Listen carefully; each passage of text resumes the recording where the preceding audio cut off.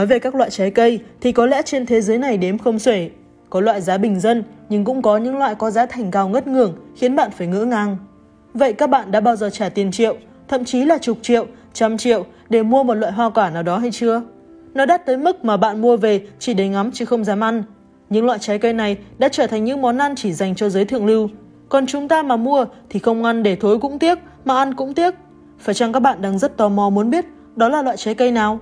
Vậy thì trong video hôm nay, chúng ta hãy cùng đi tìm 7 loại hoa quả đắt đỏ nhất tại Việt Nam, dành riêng cho nhà giàu thưởng thức là những loại quả nào nhé. Để xem bạn có dám mua không. 7. Hồng giòn Đầu tiên, khi nghe đến tên loại trái cây này, chắc bạn sẽ nghĩ ngay đến vùng đất Đà Lạt của nước ta, nơi nổi tiếng với nhiều loại hoa quả được ưa chuộng, trong đó có hồng giòn. Thế nhưng, loại hồng giòn hôm nay chúng tôi muốn đề cập có xuất xứ từ Nhật Bản và chúng rất được ưa chuộng tại Việt Nam trong thời gian gần đây. Tất nhiên là vì hàng ngoại nên chắc giá của nó cũng không hề rẻ tí nào.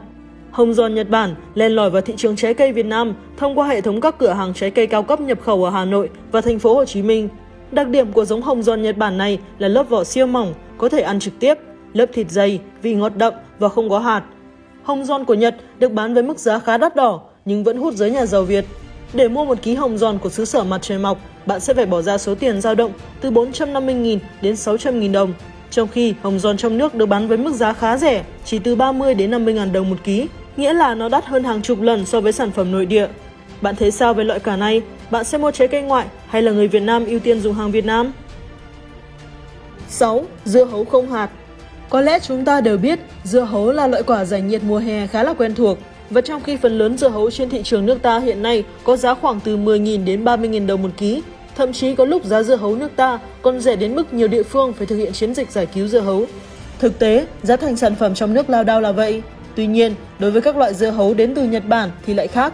Bạn tin nổi không? Khi một trái dưa hấu made in Japan tại thị trường Việt Nam thì có giá khoảng 480.000 đồng một ký.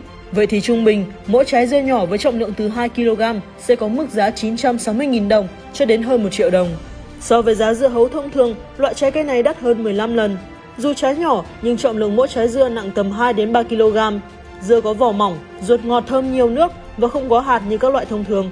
Đó chính là lý do vì sao dù có giá trên trời nhưng dưa hấu Nhật Bản lại được giới nhà giàu Việt Nam ưa chuộng, thậm chí không tiếc tiền mua vài quả để dành giải nhiệt cho mùa hè. 5. Đào tiên Một loại quả mà vừa nghe đến tên chắc nhiều bạn sẽ nghĩ ngay đến bộ phim Tây Du Ký. Thực ra, đào tiên là loại quả vốn không xa lạ với người Việt. Đặc biệt hàng năm, từ tháng 6, loại trái cây này bắt đầu vào vụ và được bán với giá 50.000 đến 90.000 đồng một ký.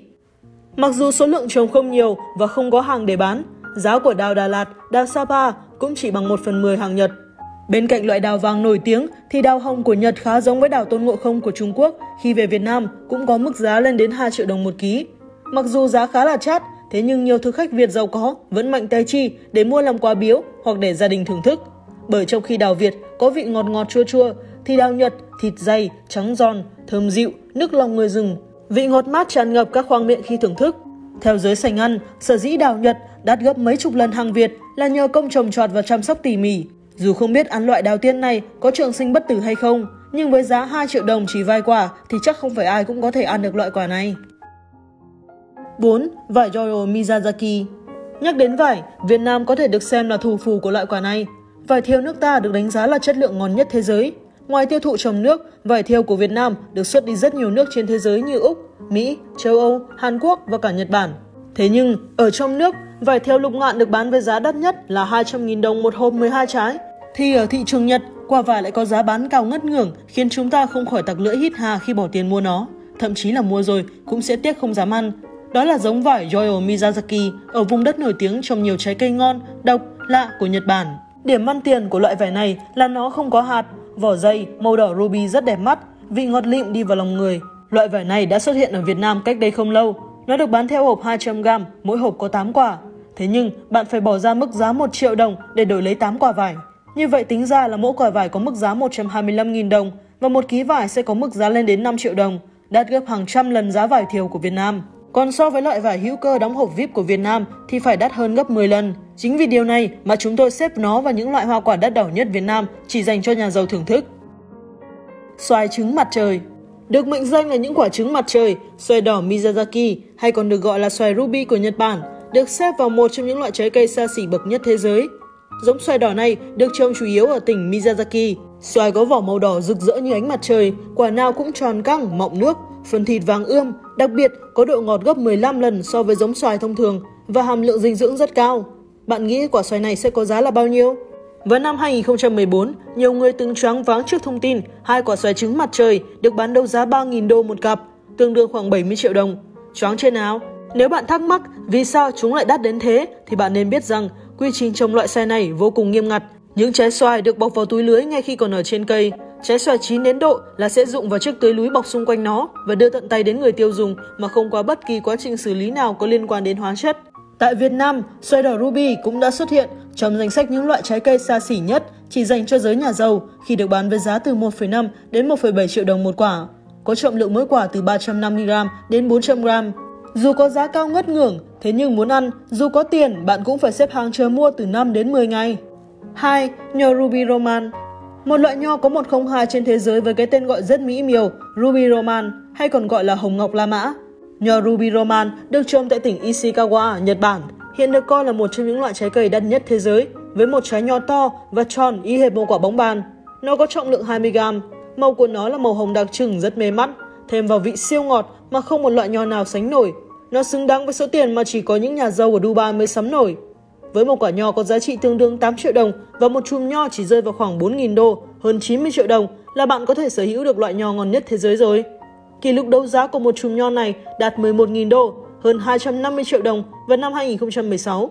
Hiện nay, sản lượng nho Ruby Roman cung cấp ra thị trường chưa nhiều, thế nhưng chúng đã xuất hiện tại thị trường Việt Nam để phục vụ nhu cầu thưởng thức những loại trái cây ngon nhất thế giới của người Việt.